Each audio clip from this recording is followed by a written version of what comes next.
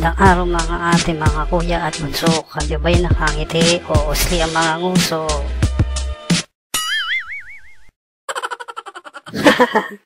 Wala lang. Trip lang. Kilala niyo ba ang batang ito? Sorry.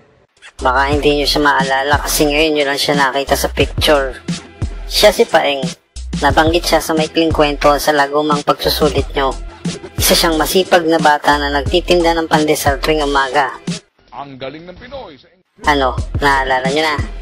May babasahin akong tula tungkol sa kanya. Alam ko nabasa niyo na yung kwento ni Paeng. Pero ito yung version ng kwento niya na ginawa kong tula. Makinig kayong mabuti ha. Apo. Ang pamagat ng tula ay Pandisong! Gumising ka na paeng, ikaw ay bumangon na. Di ka dapat maunahan ng pagsikat ng umaga. Ayusin ang iyong sarili, tanggalin ang iyong muta. Magbihis na at lumakad ang makapagsimula ka. Ang mainit na pandesal ay naghihintay sa iyo. Pitpitin ang tinapay at ikaw ay magtrabaho. Isagaw ang pandesal, ilako sa buong baryo, tinda mo ang papawi sa gutom ng mga tao. O ayan, tapos na ang tulang aking binasa inyo bang naalala si Paeng at ang kanyang... Pandisong! Whoa.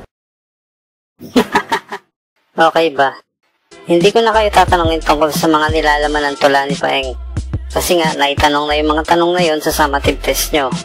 Pero bakit ko binasa yung tula ni Paeng sa inyo? Saka bakit nga pa ako nag-rap? Bakit ako tumula? Kasi, ang lesson natin ngayon ay tungkol sa tula.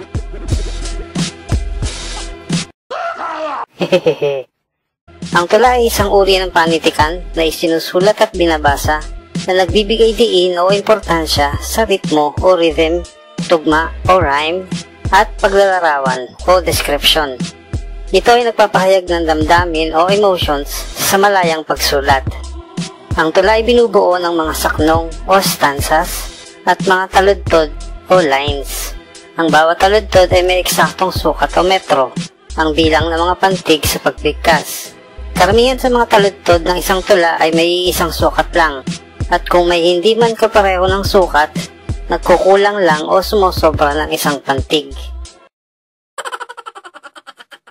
Malalim ba? Opo. Sige, linawin natin. Mga elemento ng tula.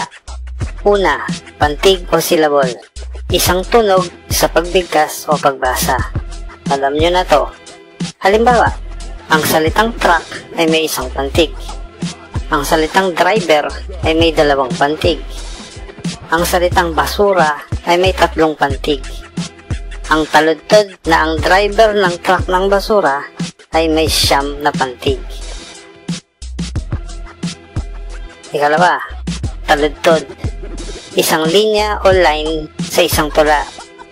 Pwedeng pangungusap, pwedeng pakirala. Basta isang linya. Tingnan natin yung tula ni Paeng. Gumising ka na Paeng, ikaw ay bumangon na.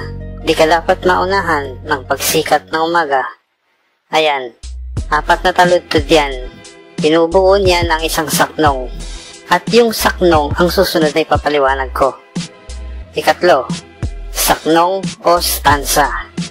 Isang grupo ng mga linya sa tula. Karaniwang may dalawa, apat o anim na taludtod ang isang saknong. Pero mas madalas apat.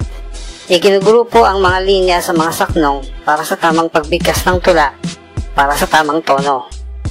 Ano ba yung tono? Sa simula ng saknong, parang nag introduce lang yung tono. Sa bandang gitna, tumataas yung tono. Sa katapusan ng saknong, bumababa ulit yung tono na parang may conclusion na o preparasyon para sa susunod na saknong. Basahin ko ulit yung tula ni Paeng. Gumising ka na Paeng, ikaw ay bumangon na.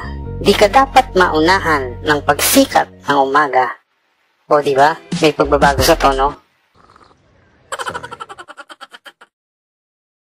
Ikaapat, sukat o measure, metro o meter. Ang bilang ng pantig sa bawat taludtod o linya, tingnan natin yung tula ni Paeng. Bigkasin ko yung unang linya. Gumising ka na Paeng. May pitong pantig ang linyang yan. Gumising ka na Paeng. At sa isang tula, kapag pitong pantig ang unang linya, madalas pito rin yung ibang linya. Kung may anim o walo, konti lang yon. At siguradong walang linyang apat, lima, siyam o sampung pantig. Plus 1 lang saka minus 1. At yan yung tinatawag na sukat o metro ng isang tula. Ikalima, tugma o rhyme. Ang pagkakapare-pareho ng bigkas o pronunciation ng huling pantig ng bawat linya. Halimbawa, si Tantan ay taga Jensan, isinilang sa Dagupan, bininyagan sa Kabikulan, lumaki sa Cagayan. Ayan, makikita sa mababasa natin yung huling pantig ng bawat linya. Jensan, San, Dagupan, Pan, Kabikulan, Lan, Cagayan, Yan. Magkakatugma lahat. Pero hindi naman kailangan na magkakatugma lahat ng linya. May mga tula na yung salitan lang ng linya yung magkakatugma. Yung ikalawa, saka ikaapat na linya lang yung nagtutugma. Halimbawa ulit natin yung tula ni Paeng. Gumising ka na Paeng, ikaw ay bumangon na. Di ka dapat maunahan ng pagsikat ng umaga. Tingnan natin yung mga huling pantig ng bawat linya.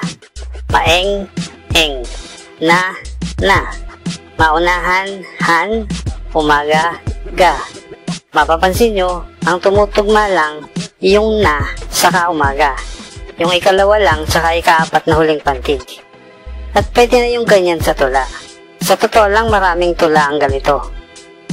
May mga tula naman na dala-dalawang linya lang ang magkakatugma. Halimbawa, yung sikat na tulang ito. Ako ay tutula. Mahabang mahaba. Ako ay uupo. Ayan, tapos na po. o, di ba? Magkatugma yung una sa pangalawang linya. Magkatugma naman yung pangatlo sa pangapat. Pwede rin yung ganyan. Ayan, yan yung mga importanteng elemento ng tula. Pantig o syllable, taludtod o linya, line, saknong o stanza, sukat o metro, measure or meter, tugma o rhyme. Para mas maintindihan nyo pa, tingnan natin yung isa pang halimbawa. Ako ay may alaga, isang asong mataba, buntot niya ay mahaba, makinis ang muka. Ako ay mahal niya, mahal ko rin siya, kaya kaming dalawa, palaging magkasama. Alam ko narinig niyo na yung tulang yan. Sikat din yan. Okay nga eh, para hindi boring yung lesson natin. Ilang saknong meron ang tulang yan? Isa, dalawa. Ilang taludtod o linya ang nasa bawat saknong? Isa, dalawa, tatlo, apat. Paano ang pagkakatugma ng mga linya ng tula? Alaga, mataba, mahaba, saka mukha. Niya, siya, dalawa, saka magkasama. Lahat ng linya ng tula sa bawat saknong ay magkakatugma. Ano ang sukat ng mga linya ng tula? May mga linya na may anim na pantig. Meron ding may pito. Ako ay may alaga, pito, isang asong mataba, pito, buntot niya ay mahaba, pito, makinis ang muka, anim. Ako'y mahal niya, anim, mahal ko rin siya, anim. Kaya kaming dalawa, pito, palaging magkasama, pito. O di ba? Ang gandang example ng isang tula na maayos ang pagkakasulat. Maayos ang mga sukat, magkakatugma lahat ng linya. Saka may sense naman yung tula. Opo. Tingnan naman natin to. Paalam aking kaibigan, hindi kita malilimutan. Mga tono mo't paalala ay lagi kong tatandaan. Paalam na aking alalay, maiksi ang iyong buhay, nalaglag ka lang sa kubeta, nawalan ka na ng saysay. Hehehe. ano sa tingin niyo ang tinutukoy sa tulang ito? Mamaya sasabihin ko. May naramdaman ba kayong emosyon sa tulang ito? Ako meron. Gawa ko yung tulang yan. Mukhang madrama, pero kalokohan lang yan. Hehehe. Ang tinutukoy kasi nung tumutula, na kaibigan niya sa kaalalay, na maiksi daw yung buhay, na namatay daw nung nahulog sa kubeta, ay isang cellphone. Pero magandang example yan ng tulang may damdamin. Sa totoo lang, maraming tula ang mahirap maintindihan yung sinasabi, pero ramdam mo yung emosyon. Kasi nga, yung mga tula, Kadalasan isinusulat kapag nag-ii mo yung nagsusulat.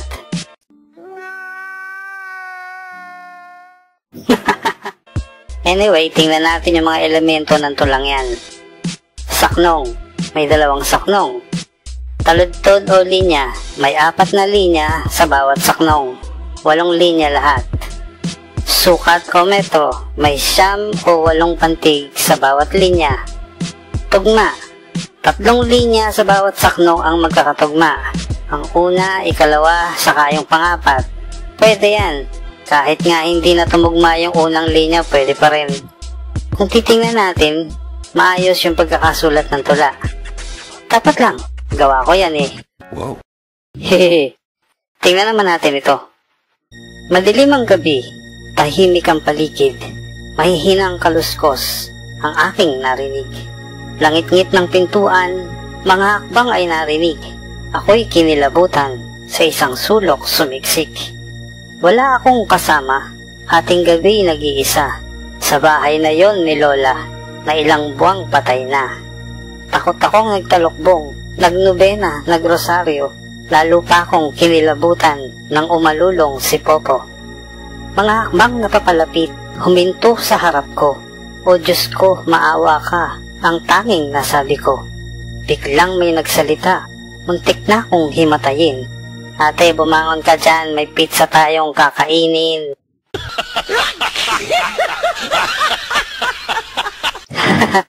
o ano, okay ba? Sige, pag-usapan natin yung tulang yan. Ako rin na may gawa niyan. Obvious naman siguro yung kwento sa tula. Natakot yung tumutula sa mga narinig niyang tunog. Nangitngit ng pintuan, mahihinang kaluskos, papalapit na hakbang, tapos umalulong pa si Popo na isang aso. Saka iba pa. Hating gawi pa raw noon at mag-isa sa bahay ng lola niya na ilang buwan pa lang mula nang mamatay. Sinong hindi matatakot sa ganon, di ba? Pero napagtripan ko kayo sa tulang yan. Kasi, sa huli, kapatid niya pala yung papalapit sa kanya. May pasalubong pang pizza. O, di ba? Pero kung wa-effect sa inyo yung tulang yan, kung hindi kayo tinablan, edi kayo na. Halimbawa lang din naman yan ng mga tulang nakaka-apekto sa damdamin o emosyon. Isinulat ko yan na ini-imagine ko yung nakakatakot na sitwasyon. Tapos, pinagtripan ko lang sa huli. Pero, importante kasi talaga yung emosyon para makasulat ng tula. Kailangan may nararamdamang emosyon yung sumusulat ng tula. Pero bakit ko ba binabanggit ang pagsulat ng tula? Kasi, susulat kayo ng tula. Utos yan ng DepEd. Wala tayong magagawa. Pero paano ba sumulat ng tula? Hindi naman siya ganun kahirap. Hindi naman kailangan buo yung mga pangungusap. Hindi naman kailangan sumunod sa mga panuntunan sa paggamit ng bantas. Basta sumulat ka lang. Kung anong maisip mo, isulat mo. Kung anong nararamdaman mo, isulat mo. Kung inspirado ka, isulat mo. Simulan mo sa pagsulat ng mga salita, parirala o pangungusap. Tapos hahatiin mo yung naisulat mo sa mga linya. Tapos aayusin mo yung tugma, yung sukat, saka yung mga saknong. Ayan, may tula na tayo. Isang saknong lang, apat na linya, ito ang sukat ng lahat ng linya at magkakatugma lahat ng linya. Hindi naman mahirap, di ba? Ako ay may alaga, isang asong mataba, buntot niya ay mahaba at makinis ang mukha. Isa pang halimbawa, gagawa ako ng tula at makikita nyo kung paano ako magsimula. Ano bang magandang paksa? Antipolo na lang. Kunyari, nasa ibang lugar ako tapos namimiss ko na yung antipolo.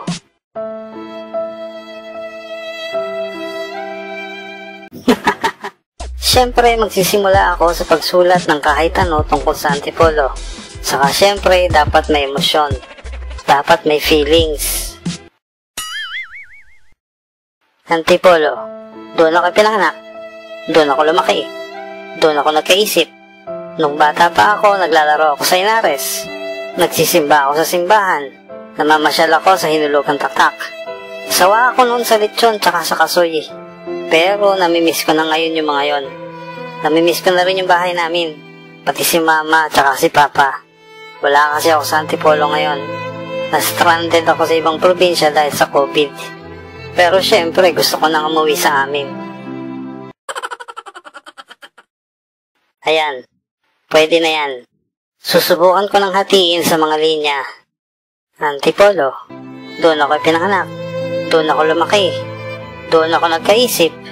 Nung bata ako, naglalaro ako sa Inares. Nagsisimba ako sa simbahan. Namamasyal ako sa inulugan taktak. Sawa ako noon sa lechon. Saka sa kasoy. Pero namimiss ko na ngayon ang mga yon. Namimiss ko na rin ang bahay namin.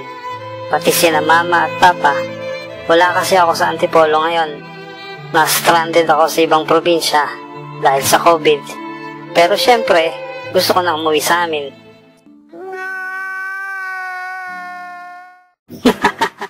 Ngayon, papalitan ko yung mga linyang yan ng mga linyang may tugma. Antipolo, aking bayan. Dinagdagan ko yung salitang antipolo para maging isang linya. Ang sukat niyan ay walo. Tatandaan ko yan para ipareho yung iba pang linya. Aking lupang sinilangan. Ipinalit ko to doon sa doon ako ipinanganak. Ginamit ko yung salitang sinilangan sa huli para tumugma sa salitang bayan sa nauunang linya. Walo rin yung sukat niyan. Doon lumipas kabataan. Kapara ito ng meaning ng doon ako lumaki.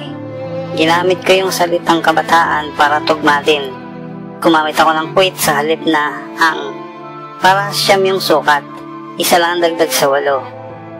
At tumalas ang isipan. Kapareho ng meaning ng doon ako nagkaisip.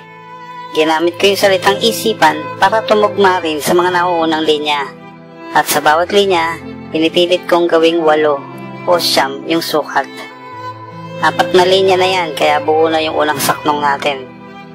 Hindi ko nalilimutan, binago ko yung noong bata ako. Kailangan ko kasing sumakto sa sukat na walo o siyam. Yung susunod na dalawang linya pinagpalit ko.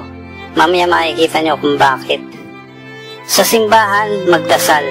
Pinalitan ko yung salitang nagsisimba ang salitang magdasal. Gusto ko na magtapos sa al yung huling pantig. Makikita nyo mamaya kung bakit. Sa inares ang laruan, pinalitan ko yung naglalaro ng laruan para tumugma sa nalilimutan sa unang linya. Isa yan sa mga dahilan kaya nagpalit ako ng linya kanina para sa tugma. Sa taktak na mamasyal. Binawasan ko yung mga salita para hindi humaba yung linya. Naging pito yung sukat. Pwede na yan. Minus 1 lang sa walo. Saka dyan yung makikita yung pagkakatugma ng pangalawang linya. Kaya ginamit ko yung magdasal sa pangalawang linya. Kasi tugma sa namamasyal. Apat na linya na yan. Punta na tayo sa pangatlong saknong. Masarap ang lechong baboy. Idinagdag ko yung salitang baboy para sakto pa rin sa sukat na walo. Inalis ko yung salitang sawa kasi ilalagay ko sa ibang linya mamaya. Ang kasoy din na adobo. Idinagdag ko yung salitang adobo para sakto din sa sukat. Noon ako ay nagsasawa. Ayan, ibinalik ko yung salitang sawa sa isang bagong linya. Alanganin kasi yung paksa kung isasama natin sa saknong yung mga linya tungkol sa bahay saka sa magulang. Ngayon natatakam ako. Pinalitan ko yung namimiss ng natatakam. Pareho din naman yon. Kailangan ko lang na mas mahabang salita para sumakto sa sukat na walo. Saka yung salitang ako, tumutugma yun sa salitang adobo sa ikalawang linya. Apat na linya na yan. Punta na tayo sa pangapat na saknong. Hinahanap-hanap ko rin ang munti naming tahanan. Ito yung ipinalit ko sa namimiss ko ang bahay namin. Naging dalawang linya siya kasi kailangang mabubuo yung apat na linya sa bawat saknong. Saka naisip ko na dapat isang saknong yung tungkol sa bahay saka sa magulang. Nasasabik na makasama ang aking mga magulang. Ito naman yung ipinalit ko sa pati sina mama at papa. Kapareho lang ang meaning pero gaya ng sabi ko, kailangan kong buuin yung saknong. Apat na linya na yan, punta tayo sa huling saknong. Dito napaisip ako kung paano bubuuin yung saknong. Ano yung pwedeng magtugma? Paano sasakto yung sukat? Marami bang dapat baguhin? Tingnan natin. Antipolo di ko nais dahil sa COVID malayo. Kapareho lang ito ng meaning nang wala siya sa Antipolo at na-stranded siya dahil sa COVID. Nalis ko na yung salitang probinsya, hindi ko na rin sinabi na wala siya sa Antipolo, understood na yun sa dalawang linya na yan. Pag natapos na ang krisis, ako ay uuwi sa'yo. Pinalitan ko yung pero syempre gusto ko na umuwi sa amin. Nang dalawang linya na yan, kapareho lang ng meaning. Tama pa yung tugma sa kasukat. Maganda rin na parang kinakausap ng tumutula yung bayan ng Antipolo. Ayan, tapos na. Pinamagatan kong Antipolo. Obvious naman kung bakit. Opo. Ganyan lang ang pagsulat ng tula. Basahin natin. Antipolo aking bayan, aking lupang sinilangan. Doon lumipas kabataan at tumalas ang isipan. Hindi ko nalilimutan sa simbahan magdasal, sa inares ang laruan, sa taktak na mamasyal. Masarap ang litsong baboy, ang kasoy din na adobo. Noon ako ay nagsasawa, ngayon natatakam ako. Hinahanap-hanap ko rin ang munti naming tahanan, nasasabik na makasama ang aking mga magulang. Antipolo di ko nais dahil sa COVID malayo.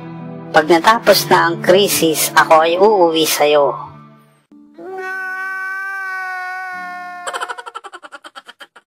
Masyado bang seryoso tunto lang ito? Sige, isa pang halimbawa. Yung mas simple naman. Naaalala niyo pa ba yung batang na jackpot? ano nga ba nangyari doon? Naglalakad siya galing sa eskwela. Katatapos lang noong umulan. Nagtitext siya habang naglalakad. May coaching bumusina tapos sumigaw yung driver ng jackpot. Hehe. tapos tumawa saka umalis. Pagka uwi niya, nandun yung lola niya. Nagdidilig sa garden. Nagmano siya. Naamoy siya ng lola niya, saka nakita yung footprints niya sa semento na kulay brown. Sabi ng lola niya, ang baho. o sige, gawin nating tulayan. Hahatiin ko muna para maging mga linya. Naglalakad siya galing sa eskwela. Katatapos lang noong umulan. Nagtitext siya habang naglalakad. May coaching bumusina. Sumigaw ang driver ng jackpot. Tapos tumawa saka umalis. Pagka uwi niya, nandun yung lola niya. Nagdidilig sa garden. Nagmano siya. Naamoy siya ng lola niya. Saka nakita yung footprints niya sa semento na kulay brown. Sabi ng lola niya, ang baho.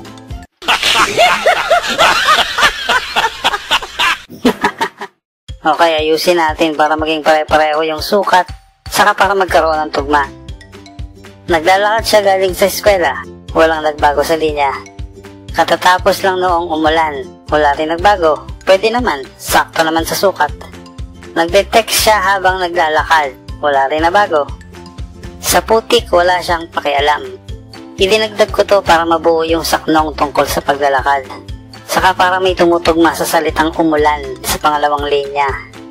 Nakaapat na linya na tayo. Punta na tayo sa pangalawang saknong. Isang kotse ang tumigil, bumusina pa sa tapat niya. Pinalitan nito yung may kotseng bumusina. Ginawa kong dalawang linya para saktong apat na linya yung saknong tungkol sa kotse at driver. Jackpot, sigaw ng driver.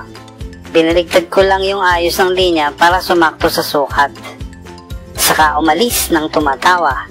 Binaligtad ko din yung ayos nito para sumakto sa sukat. Punta na tayo sa pangatlong saknong. Inabutan niya ang kanyang lola. Konting ayos para sumakto sa sukat. Pareho pa rin naman yung meaning. Sa harap ng kanilang bakuran. Dagdag ito para sumakto sa apat na linya yung saknong. Karamihan naman sa mga garden nasa harap ng bakuran. Kaya pwede na yan. Saka kailangan ko yung salitang bakuran para sa tugma. Nagdidilig ito ng halaman. Pinalitan ko lang yung salitang garden. Tinagalog ko lang. Nagmano siya, nagbigay galang. Idinagdag ko yung nagbigay galang para may tugma sa bakuran sa pangalawang linya. Saka para sumakto sa sukat. Ayan, apat na linya na. Punta na tayo sa huling saknong. May napansin ang lola niya. Pinalitan ko yung naamoy siya ng lola niya para may connection sa susunod na linya. Isa pa, kaya may napansin kasi may naamoy. Pareho lang yon. Mga bakas niya sa semento. Inalis ko na yung footprints sa kanyang kulay brown. Ginawa ko na lang isang linya. Pwede naman. Napatakip ito ng ilong. Dagdag ito. Para naman may feelings yung pag-amoy ng mabaho. Saka para sumakto sa apat na linya yung saknong. Ang baho na sabi nito. At yan ang huling linya. Binaligtad ko lang para may tugma yung nito sa semento dun sa pangalawang linya. O ayan, tula na siya. Pinamagatan ko siyang jackpot. okay ba? Kanya lang sumulat ng tula. Basahin natin. Naglalakad siya galing sa eskwela. Katatapos lang noong umulan. Nagtitext siya habang naglalakad. Sa putik, wala siyang pakialam. Isang kotse ang tumigil. Bumusina pa sa tapat niya. Sigaw ng driver. Saka umalis ng tumatawa. Inabutan niya ang kanyang lola sa harap ng kanilang bakuran. Nagdidilig ito ng halaman, nagmano siya, nagbigay galang. May napansin ang lola niya, mga bakas niya sa simento. Napatakip ito ng ilong, ang baho, nasabi nito. Ano, okay ba? Alam ko, sa pagsulat ng tula, ang medyo mahirap, yung pag-iisip ng mga salitang magkakatugma. Pero kung nagagawa naman ng paraan yon, minsan kailangan baliktarin yung mga linya para mahanap yung mga tugmang salita. Minsan kailangan magdagdag, minsan kailangan magbawas. Para hindi masyadong mahirap, simplihan lang natin yung paksa. Isa pa, sa pagsulat ng tula, pwedeng maglarawan o mag-describe. Pwede rin magsalaysay o magkwento. Nakita nyo to kanina, di ba? Si Tantan ay taga Jensan, isinilang sa Dagupan, bininyagan sa Kabikulan, lumaki sa Cagayan. Napakasimple, di ba? Naglalarawan lang. Simulan nyo sa ganito. Pag tagal-tagal, magagawa nyo rin yung mas komplikadong tula. Opo. O ano, kaya nyo na bang sumulat ng tula? Opo. Sige. Sumulat na isang maikling tula tungkol sa kahit ano. Gumamit ng dalawa hanggang apat na saknong. Walo hanggang labing anim na linya. Isubmit nyo sa biyernes bago maghating gabi.